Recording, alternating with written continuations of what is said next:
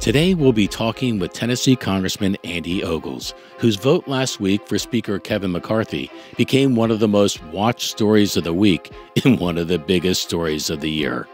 Now, this former mayor, businessman, and philanthropist, who's known for cutting taxes, reforming healthcare, and leading an international effort to end the scourge of human trafficking, is here in Washington ready to make all of this count. From Ballard Studios, it's 13th and Park. The future doesn't belong to the faint-hearted. There is not a liberal America and a conservative America. There is the United States of America. We will make America strong again. We will get through this together. I can hear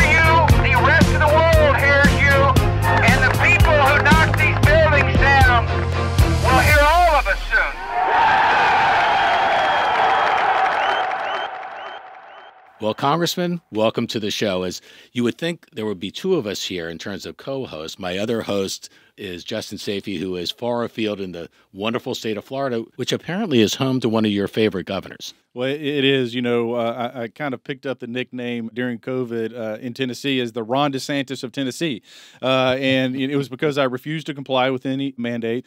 And and you can really look at the data. You know, you have the tale of two states. You've got Florida, you've got New York, and his, you know, Ron DeSantis's leadership speaks for itself. And then when you look for who's going to carry that Republican mantle in the future, who are those future leaders, you have to include Governor Ron DeSantis on that list, if not at the top. Now they're still calling you mayor. Is it something you have to get used to to be called congressman? You're looking like who are they talking about? That that's right. You know, so I was a county executive, and you know, in Tennessee, that's like a mini governor of your of your county. And so I, have been Mayor Andy for the last four years, right? And and you know, you, you read the school kids, you, the county commission meetings, or whatever it is, you're Mayor Andy. And and now it's uh, congressman, and I almost want to turn around and say, uh, well, where is he? Uh, and so then you realize, oh oh wow, that's me, and it's an honor. You know, uh, even now as I as I walk walk into the Capitol. I'm a bit of a nerd. I mean, I think you by default have to be a nerd to be an economist. But our founding fathers, it means something to me when I sit in that chamber and I see and the feel the history, know the history, know that you're making history. And I just hope every member, regardless of party, always remembers that. Well, Justin, I think it was a hell of a week last week. Take it away. it sure was. And Congressman, you were right in the middle of it. It's great to have you as a guest on the show. The nation was captivated last week with something that hasn't happened in over 100 years. Certainly in all of our lifetimes, we've never witnessed what we witnessed with the election of the Speaker of the House. It was a, a civics lesson. And you were one of the Republicans who ultimately voted for Speaker McCarthy after a series of compromises were made and affirmed. So, what was it like for you, freshman member of Congress? All of a sudden, you're in this very uncharted territory in terms of 15 votes to elect a Speaker of the House. And what did you feel the outcome of it ultimately was for you? Yeah, you know, first I had the opportunity. My family came up with me, and, and my kids were able to be in the chamber with me. So not only are we one doing the right thing and standing on principle, but you're making history. And my children, they should automatically get an A in civics, right? Like they're living through history. Their images are plastered all over Fox and Newsmax and the Epoch Times because we were right there, uh, you know, it, to, to all of the action. But for me, you do the right thing for the right reasons and then you stand in the gap and you take the punches or the consequences and that's what we did. And for a long time as a rank and file member you had the ability to offer an amendment. You had the opportunity the time to actually read a, a bill. Mm. and that's what we were fighting for. You know even mccarthy's statement says that for too long the, the power was nested in the speaker's lobby with the speaker. And we got some of that back through this rules package. And and i always go back to john quincy adams right? You know he was a he was a congressman. He was a senator. He was a minister, now we call them ambassadors, right? Became president of the United States. And then what did he do? He returned to his favorite chamber. He became a congressman again because it was it was the people's house. It was the chamber that argued and debated and he says the most raucous chamber, but it was the one that he loved. And as I sit there and we are arguing and we are debating what we're fighting for is the best outcome, mm-hmm. right? And that's a good thing for the American people. Look, I've got a small farm. I love meat. If you don't like meat, I'm sorry, but I love meat and, and I love sausage. But I don't want to see how sausage is made. What the American people saw last week is the sausage being made. And you know what? The outcome was a good thing. Well, I'll tell you, it's very good for C-SPAN. Their ratings were off Oh, the yeah, chart. right. uh, your kids must be terribly patient because they were thinking, okay, we're good. We're going to go to this great ceremony in the on the floor of the Congress, and suddenly it was four days later, right before right. that was even entertained. Well, you obviously were right in the middle of the storm and what was happening. You were on media a lot last week. There was one clip in particular I saw on Fox Business I'd like to play for you, Okay. which plays right into what you're talking about in terms of empowering individual members of Congress to do the job they were elected to do. Cue the tape. You know, over the years, over the last couple of decades, the, the ability for a regular rank and file member to do their job has been restricted. I mean, I, I always say it's akin to the rules of Monopoly or, or a red light, green light, that game that you would play as a kid, right? The rules can actually favor a player. The rules can actually determine an outcome. And what we've seen over the last decade is that the rules were predetermining outcomes. And with the rules package that we've put together, that we fought for, uh, that is going to be transformative, making sure that the rules are even for the American people.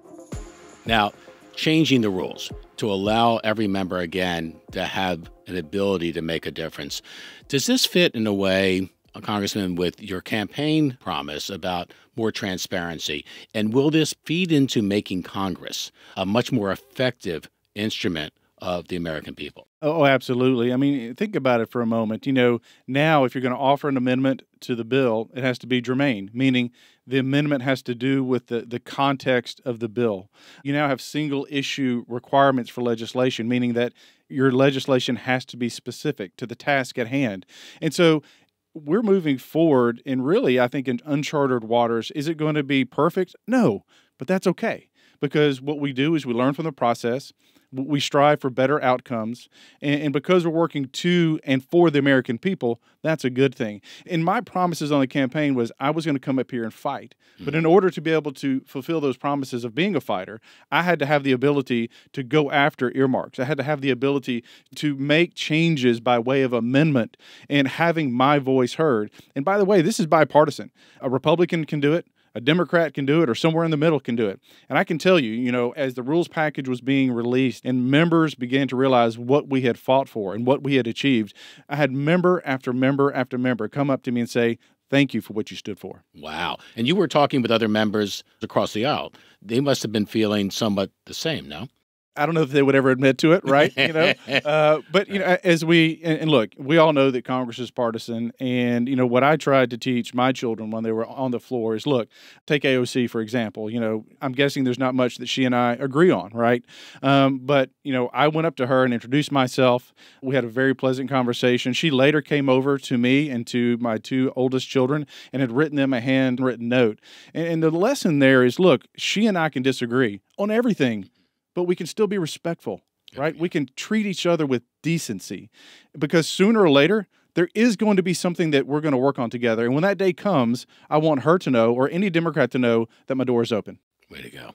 That's the way it should be. And at the end of the day, I know it's a trite thing to say, but we're all on the same team. We're all Americans. That's so right. Right. it's okay to disagree, but it's nice to be able to have that respect and that that decorum at that level of government. Well, one of the big issues that's coming up uh, at some point this year in 2023 is the issue of the debt ceiling. You are a student of economics and a fiscal conservative, and there are different views even amongst conservatives. Some conservatives think that the deficit is a big problem, others don't view it that way as much, or they believe that the government should do what it can to stimulate the economy through tax cuts. What's your view on the debt ceiling and how the Congress should approach it?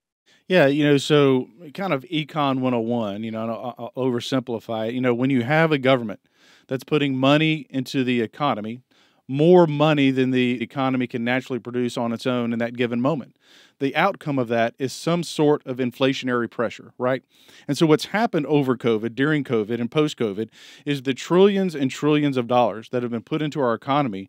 There's no way that our economy could have generated those numbers of dollars. So, to have an inflationary period that drives us towards a recession is logical.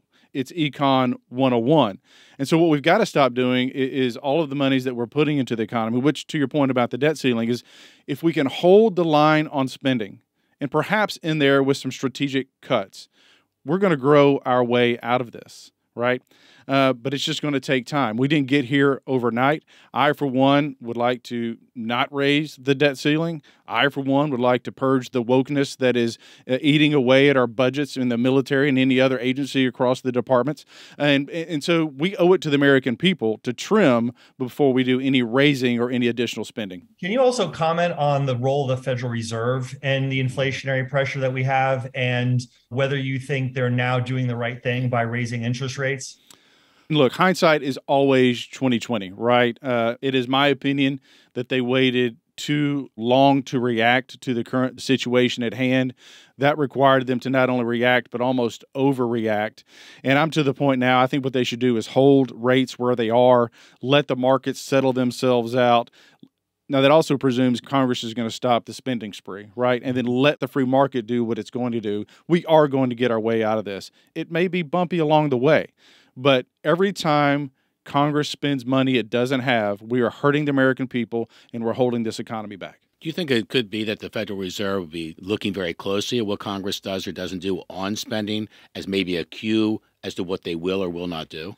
I would hope so. I hope they're taking a dynamic approach to it. You know, one of the reasons why I, you know I wanted to be on financial services is to be a part of the Fed, the the financial, the banking industry, insurance, et cetera, so that there is more accountability and oversight there.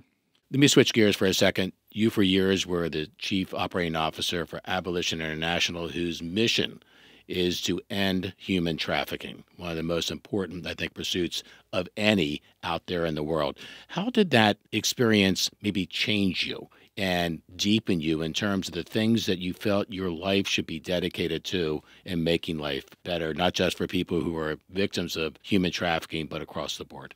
Yeah, well, for starters, I started turning gray during that period of time, you know, and I joke about it, but it's true. You know, so, you know, my midlife crisis was uh, law enforcement. So I was an entrepreneur and I come from a family of military, fire, and police. And uh, so I went to the law enforcement lane. I was a reserve deputy for a period of time. From there, I went into the international sex crimes and ran global operations. And our niche was child trafficking because you know, when you're working overseas and with uh, various states and their laws, there, there's almost a universal delineation between prostitution and a child who's being forced into prostitution. So it, it's a, it's a you're staying out of the gray areas, right? And by impacting child trafficking, you're also impacting human trafficking, right? So we found a, a unique niche there when trying to have impacts both on the rescue side, the restoration side, and then on the legal side. But when you look at the southern border, when you look at the fentanyl coming across, the drugs coming across, the guns coming across across. We know that there's people on the terror watch list that have come across.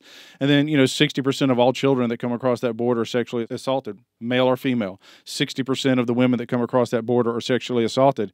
And so, what we've got to do, you can pick a lane.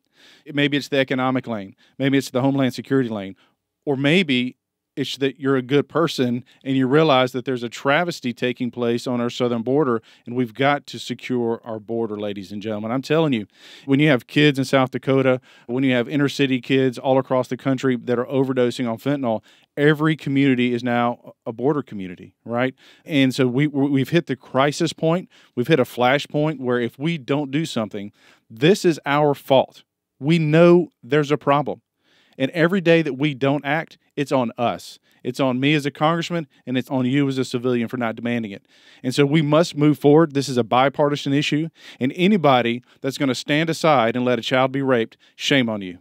Amen. Congressman, I'm curious. Obviously, the border is a big issue, and that that needs to be addressed. And I'm sure the appropriate committees in the House will take a look at that, and hopefully they'll take action on that. But other than the border, what is something that the U.S. government should be doing differently in order to stop and end human trafficking?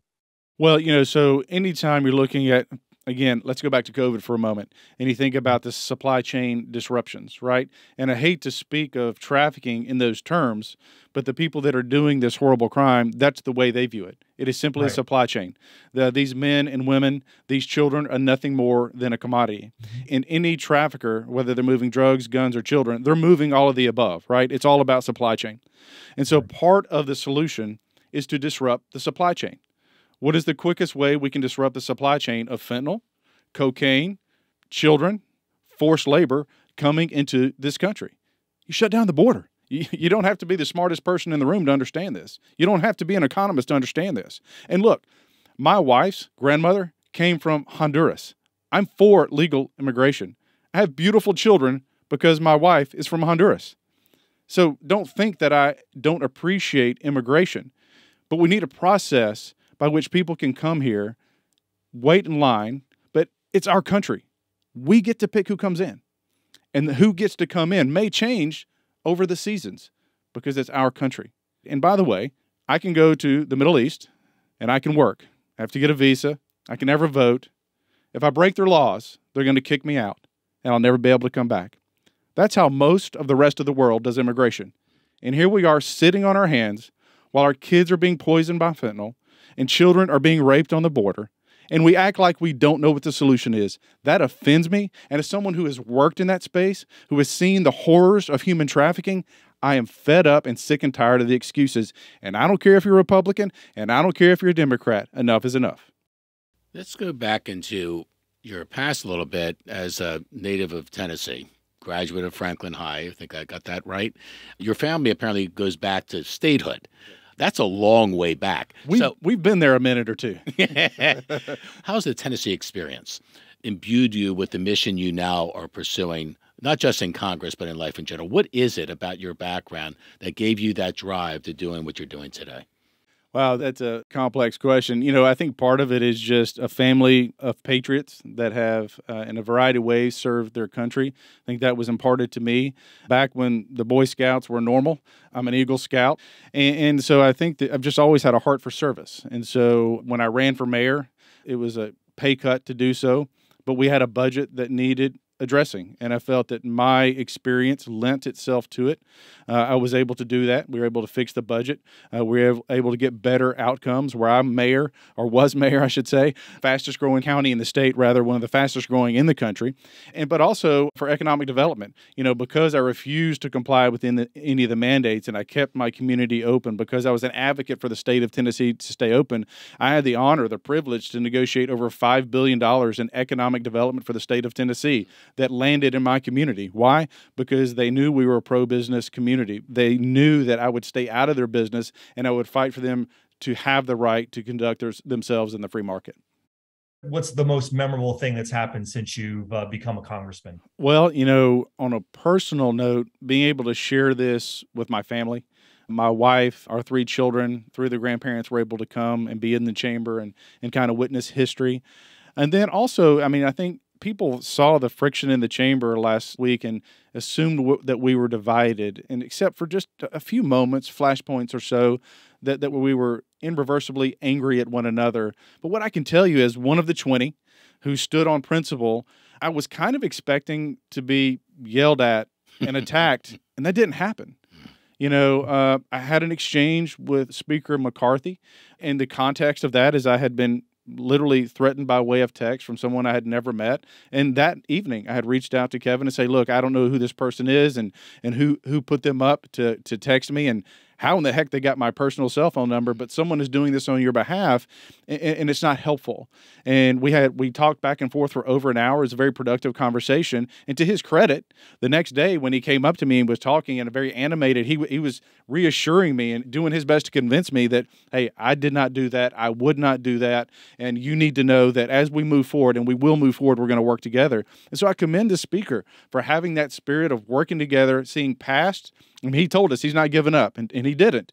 And we were able to come up with a good rules package that I think the American people and every congressman should be pleased with. I'm proud of the work we did, and I'm looking forward to working with uh, Kevin McCarthy. And for that reason, right, didn't you have maybe a, a newfound respect for McCarthy because of the way he handled the cauldron of four days of That's the right. nation looking in yeah. on this non ending speaker's election? Didn't that say something about him? That you saw in him in just the moment you described. That's right. And and when I stood and when I when I changed my vote with, with my colleagues as we moved is essentially a block. And I said that uh, as an act of good faith, because we weren't done with the negotiations, we were almost there, but as an act of good faith to my colleagues and to the process that we've been laboring at for these days, I vote for Kevin McCarthy. And so part of that is building trust and trust goes both ways. Mm-hmm. Well, I can tell you is that you were just beginning your journey here. You've had a long journey that brought you here. I think all of America is very excited about the prospects of anything new, especially a new Congress. You're very much central to that, only days in. That's right. Uh, in the middle of it, we wish you the best of luck, Congressman, and do what you've always pledged to do, which is the right thing. Yes, sir. Absolutely. Great seeing you. Thank you for having me. Wow. I mean, I remember watching, and I, hate to admit this, it's like Adam Get a Life. I think I watched almost every minute of C-SPAN's coverage of the four days of the speaker's election. Is for me, it was compelling television. I think actually for a lot of Americans, Justin, and and I remember Congressman Ogles at some point making remarks. I don't know if it was in an interview off the floor or it was on the floor, and he and many others among the 20 who initially were not in Speaker McCarthy's corner, he among them is one of the few I felt combined conscience with a constructive attitude, meaning he wanted to get things done, but he wanted the rules to enable and empower he and others to do that job. Right. And it's it's great to be able to talk to him and interview him and ask him about that experience because it really gets below the the narratives that were kind of put out there and really when you talk to him and you listen to what he had to say it wasn't like he i didn't get the impression that he was some damn the torpedoes blow up the institution of the house of representatives right. type of person he was using his vote to try to change the rules of the house in a way that he felt would and if you I listened very closely to what he said, he felt that the rules were preordaining a certain substantive result. Yep. And he was hoping for rules that would allow for more debate, more empowerment of particular members. And look, that is a very different model than the Nancy Pelosi iron fist strong arm speaker model, powerful speaker model. And uh, these Republicans decided they didn't want that model. And the question I'm curious about, just I guess it's a little bit academic, but not really, is mm-hmm. what lasting impact is it going to have on the speaker's power over the course of years? Do these reforms survive Speaker McCarthy? Do they go over to Hakeem Jeffries when one day he becomes Speaker of the House of Representatives? Good point. That's an open question that I'll be watching closely. Well, I'll tell you, we'll, we'll get a verdict on that very quickly when it comes to the debt ceiling, because that's the first major issue I think you could say that's going to come before this Congress. It's going to be a very wide open debate, and it's not going to come in for a landing easily. And I don't know where that's going yet and what the, how the speaker and others in leadership will play into that. But clearly, people like Congressman Ogles not only want to be a part of that conversation, they insist on being. And with this particular representative, with his stripes, you know, leading the Laffer Institute, Art Laffer, I remember the Laffer curve. I grew up with that. And his demonstrated experience and expertise on fiscal matters at a time when the country is spending a lot of money. I think this is, he kind of comes into the conversation, Justin, maybe at just the right time. I think so. And I do think, though, that the, even though it was very messy to do the vote for Speaker 15 times, I do think it provides a little bit of a template for how to resolve some other issues. Uh, at the end of the day, the Republican caucus ultimately came together. It wasn't pretty, it was messy. And I think the same thing will happen on the debt ceiling there'll be some trial and error and they'll try to get the ball up the hill but at some point they'll get there after some uh, horse trading as we saw in this instance. I really was moved by his description of his time with that group that was going after human trafficking. And and you know some people approach things like that and when they describe it it sounds somewhat rhetorical. Sitting next to this congressman i can tell you it was personal and it was mission driven and that the mission isn't done. And I like the fact that, you know, this is an issue that wasn't among the top three issues in the midterms, but should be a top issue on everyone's priority list in terms of our humanity. Yeah, when he uh, speaks about the border and speaks about human trafficking, talks about his family, his wife's heritage, mm-hmm. he is going to be an extremely effective advocate for border policies that protect innocent human life and that stop the illegal trafficking of humans. So uh, he'll be he'll be a force to be reckoned with on that issue, no doubt. And I think a couple other observations I had was one, I thought it was interesting his observation about his interactions with Representative Alexandra Ocasio Cortez. Yes. Uh, and also, I thought that was really revealing. And I thought it was also interesting the exchange he had with Speaker McCarthy. We really got some interesting insights there behind the scenes, behind the curtain insights into the personal relationships and engagement that these members, especially a freshman member, have. You got the feeling, too, that he would not have endorsed and voted for Speaker McCarthy ultimately if Speaker McCarthy, designated at that point, did not pass his own test of leadership. And this was a test for Andy Ogles. He wanted to see how Kevin McCarthy would respond to what he felt Andy Ogles felt was constructive advice. And I think he responded very well. I think this is lost in all the headlines talking about the kerfuffle and the chaos. It really was a test of leadership for Kevin McCarthy before he ever held the gavel. And I think for Congressman Ogles and others, he passed that test. Absolutely. I couldn't have said it better. And that was a really revealing interaction that he had with Speaker McCarthy. And it shows how much work and time and effort goes into persuading your colleagues to become Speaker of the House. Well, do you know also that he was the former, I think I'm saying this right, national political director or policy director for Newt Gingrich when Gingrich ran for president? Did you know that? I did not know that. Uh, you can see some of Newt Gingrich in Andy Ogles, can't you? Uh, absolutely. The impassioned uh, viewpoints and the way he uh, articulates his beliefs was very, very impassioned. I guess the, is the best word I can say it. So yeah, it was great to have him as a guest, and great way to start off the year with uh, with this podcast. Episode number eighteen of Thirteenth and Park, first of the year. You're absolutely right. What a way to start! What a way for Washington to start, and hopefully, what a way for America to start as well. Justin, great to almost be with you since you're almost. you're a couple states away in the warm climes of Florida. Can't wait to do it again. See you next time. Don't miss future episodes by following us on Apple, Spotify, or other podcast platforms, or go to the YouTube channel where you can subscribe for free.